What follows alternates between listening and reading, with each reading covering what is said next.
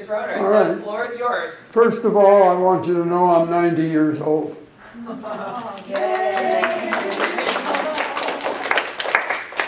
Pearl Harbor was December 7th, 1941, and I was a senior in high school, and Monday the 9th, most of the male students that were uh, third or fourth year did not show up in school. They were busy uh, running to the recruiting offices. Some were able to sign up and some were able to get their parents to approve, but most of them were back in school in the 8th because they weren't old enough to serve. I got out uh, in January of 42, a few days after Pearl Harbor, and I uh, was uh, I was going into uh, pharmacy school in September of 1942 and had been accepted, so I went to Wright Junior College for a short time so that it would be a little lighter because I had to work after school. And while I was in school, the dean urged all of us to enlist in the reserves to at least be able to finish our school year and get credit for a school year. And because I was a pharmacy student, they made me a medic. And I took medical basic and did a few other things and then ended up uh, being shipped to uh, the California port of embarkation for immediate overseas assignment. When I uh, got there, there was no, there was no uh, a bridge going from uh, uh, across the bay. You had to take a ferry boat into San Francisco, and I was transported by MPs to Fort Mason, California. I was there a week because a single person uh, had arrived and they had no record of my coming and they didn't know where I was supposed to be. But I eventually found my outfit and I worked as much as I could in the station hospital so I would be knowledgeable no matter what the assignment would end up being. And one day my commanding officer came to me and said that a hospital ship was being formed in Seattle and he had to recommend somebody because of my experience at the hospital. He had recommended me and I was transported to Seattle, Washington, where the ship was being refurbished. It had been a luxury liner, and one of the reasons that it was being used for hospital ship was because it was too slow to be in a, in a convoy going overseas. Everybody would have to go at our speed. And it was tremendous. It was large, it was beautiful, it was converted. And eventually we were uh, sent through the Panama Canal at least once out of six times uh, when they didn't have tractors pulling ships through, but they had live mules. And from there we went to Gibraltar. And from Gibraltar we waited for orders, and the orders came. We were going into Naples, Italy. Things were getting very uh, quiet in Naples, and we were there a short time. We didn't evacuate anybody, but we were prepared to uh, get involved with the invasion of France from the south, from the Mediterranean side. And we would pull in with the, all the naval bombardments and all the shooting and everything else, white, lit up like a Christmas tree with red crosses all over. We were at the mercy of the enemy, but in Europe, they honored the Red Cross and we had no problems. As, as miserable as the Nazis were, our ships were not damaged at all. And after things normalized on the French side, we were ordered back to the States through the Panama Canal. And we were uh, outfitted for South Pacific duty. They uh, uh, assigned us, we could only carry uh, medical people, no arms, nothing like uh, war material, and so we were assigned 750 young cadet nurses that had just finished training. On our way to the Pacific, they were to be dropped off at Honolulu for reassignment, spread out over all the Pacific. From Hawaii, we went to New Guinea.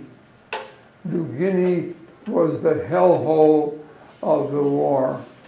It was beastly hot with mosquitoes that were king size, and uh, we had to have uh, uh, medications to prevent uh, all the diseases that the mosquitoes carry. And so they used a drug that was called atabrine, and it made your skin and eye whites yellow. So you knew who was from New Guinea because they had a yellow cast to their skin and yellow eyes. From there, we went up to Leyte with all the fighting that was going on. We picked up casualties and evacuated them to New Guinea. Uh, we would then be busy preparing the ship on the way back to Leyte, and we kept doing this. And next it was Luzon, and next it was uh, Manila, and next it was Okinawa. And uh, Okinawa was another bloody mess because the Japanese were not prepared to give up without a real fight. And from there, we were ordered to uh, um, the first ship to dock in Yokohama, Japan. And there is where we had the biggest mess on our hands. The casualties have been brutalized from the beginning of the war, and they were mistreated, they were not fed, they were full of vermin and fractures that had not been set. They were not treated like human beings the, the Geneva Conference did not enter the picture for that Pacific assignment. And we started to bring casualties back to the States. Our ship carried 768 wounded. Some were seriously wounded, and some were wounded so that they could not go back to assignments. While we were in the Philippines, we would sometimes fill up fast. Sometimes we would get 50, 60 wounded, and we would sit in the harbor waiting for more because we were a full hospital ship, a general hospital ship. We had approximately 450 medical people, 27 doctors, 37 nurses, uh, two pharmacists, two chaplains, uh, two lab techs, a Red Cross worker, um, two dentists also, by the way, and um, everybody was busy all the time with their assignments. When we um, uh, were, we were coming back to the States one time, we lost an x-ray technician and they ended up making me an x-ray technician without training.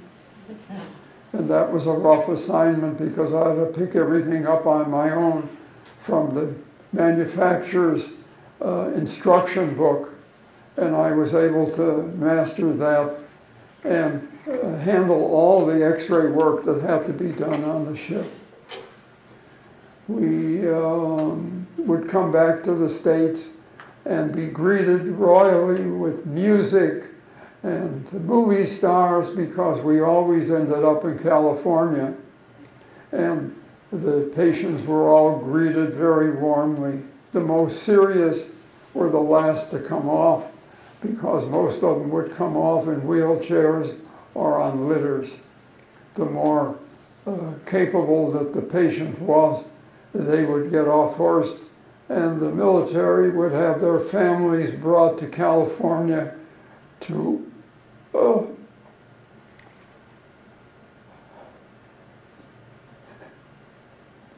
oh, excuse me. It still hurts.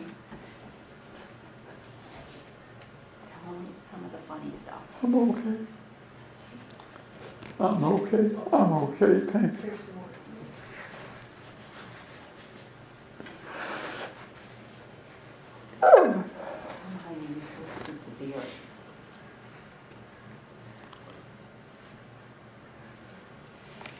Still hurts.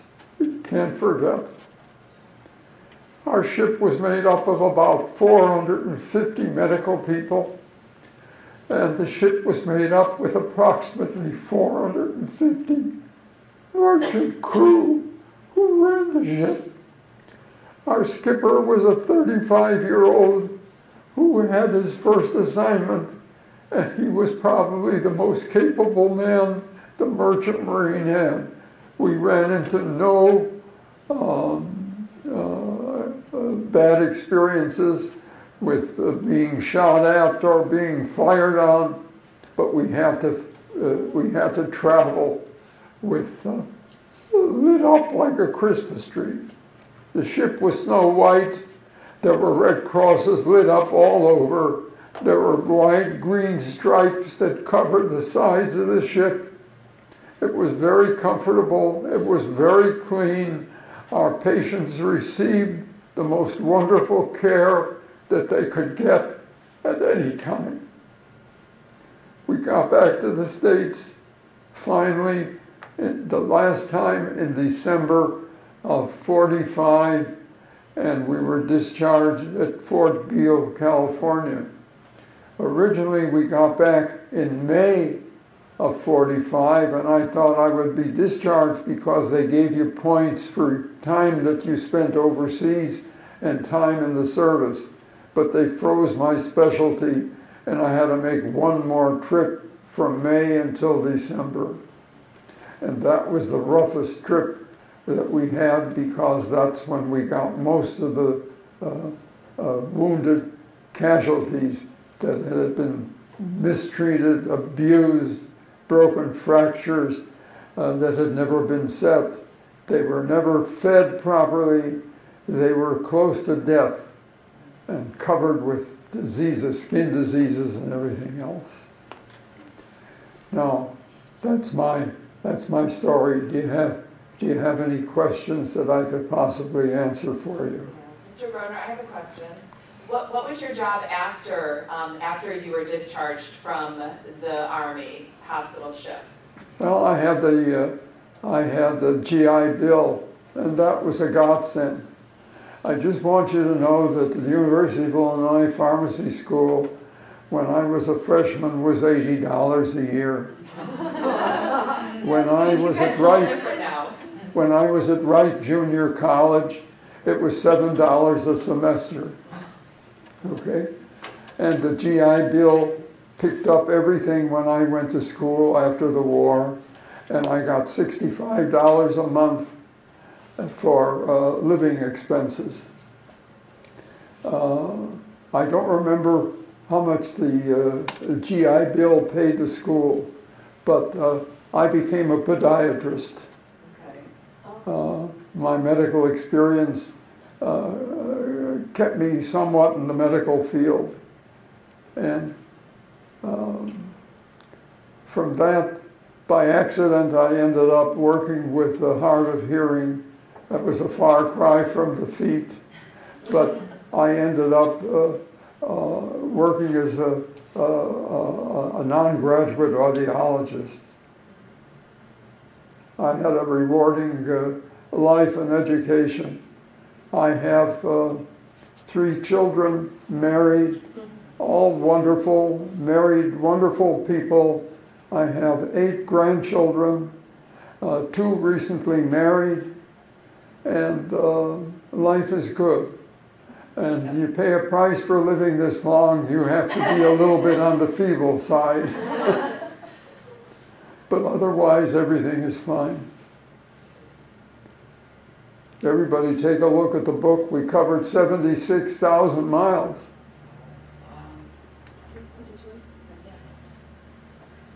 Um, I have behind you, Mr. Groner, the picture of you with some of the medals that you got. Can you explain a couple of the medals that you were uh, awarded? Well, uh, if, if you turn it around, uh, Marilyn, give me that single picture. It's easier for me to look at it. He remembers everything. I went in a buck private, I came out a sergeant. Uh, the medal at the far end was one from the Philippine government. It's called the Philippine Liberation Medal. And if you go to the other end, uh, the little round medal with the red, uh, that was a good conduct medal because we never got into any kind of trouble. So you got a medal for it.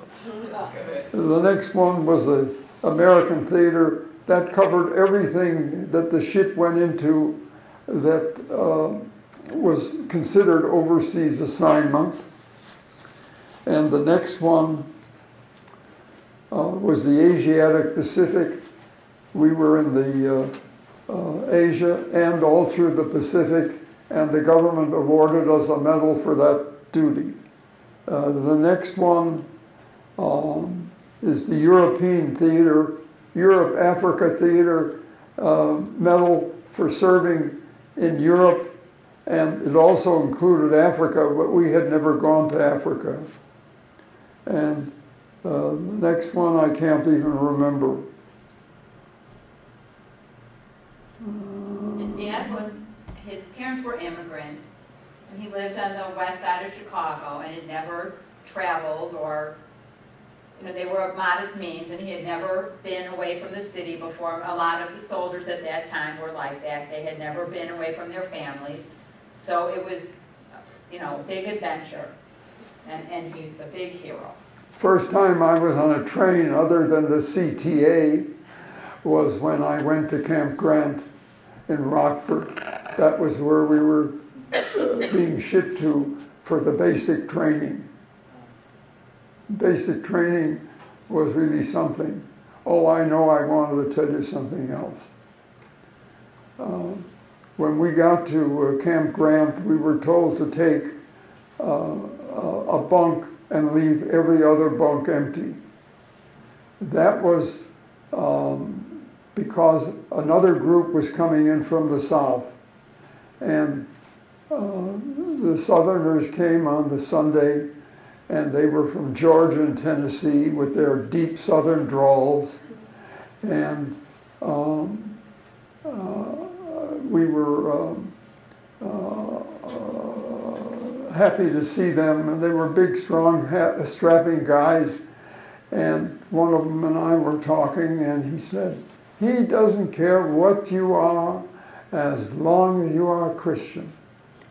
I said, I am not a Christian, I happen to be a Jew. And he had never seen a Jew before in the South. And he looked at me and he said, You look just like everybody else. Yeah. So that went over big. The next experience I had, one of the trips we came back to the States and I got a pass and I could go home. And it wasn't a long pass, they were doing some repair work on the ship. And I got back on the train and walking through was looking for an empty seat. And the only empty seat that I could see was next to an African American GI who was also in uniform. So I asked him if I could sit down. And so we had a nice talk until we got to Washington, D.C., and he was going further south. And so as we got off the train, he said goodbye. I said, You're going on the same train. And he said, Jim Crow car in the rear. And I didn't know what a Jim Crow car was. Do you guys know what that means? Jim Think Crow. about the timing of like. World The War whites could sit in the front, and the blacks had to sit in the last car. That was a blow. That was a real blow.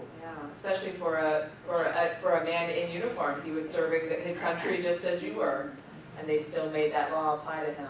My, my first experience before we went overseas in the South was Charleston, South Carolina. That's where we gathered for the overseas assignment to Europe. And I had never seen, you just hear, you just hear about what black people endured uh, all the years from slavery. They, they had to tip their hat and step off the sidewalk and let you pass because they couldn't be on the same sidewalk with you. They had to go into the back door of the movie house and sit in the balcony. It was brutal.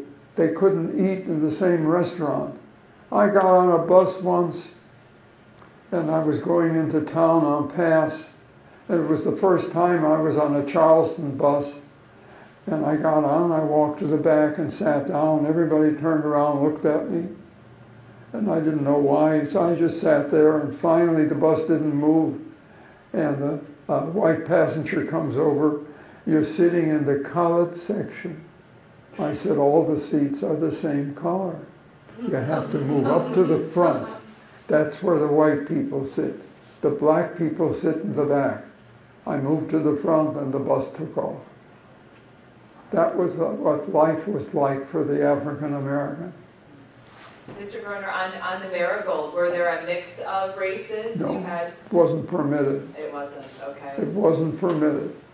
Another injustice, when I was in Seattle before we went overseas, we had uh, black Americans that were being trained for duty in the Aleutian Islands because it was feared the Japanese were planning to invade the Aleutians and getting, get into the North American continent. And so these Americans were in heated barracks, heated barracks, okay? And they brought Italian prisoners of war from overseas. For what reason, I don't know, I don't remember. And the black Americans were put into tents and the Italian prisoners of war were put into the warm barracks. And Seattle in January is pretty darn cold like it is here today. And that was American justice. I'm ashamed to say. So the But that's military what went treated, on. the military treated the blacks just like. We had, we had no blacks on our ship. It wasn't, it wasn't permitted, it wasn't permitted in the Navy at all. They were black uh, uh, service people, but they had their own units. Okay. Mr. Groner, another uh, question comes to mind, and I'm sorry that it's a sad one, but if, um, if a soldier died aboard the Marigold, what happened? Well, there was a little conflict between our uh, chief medical officer, who was a full, full colonel, and the ship skipper, who was a full captain. And we had storage facilities for storing people who died on the ship. Uh, we put them in the coolers until we got back to the States.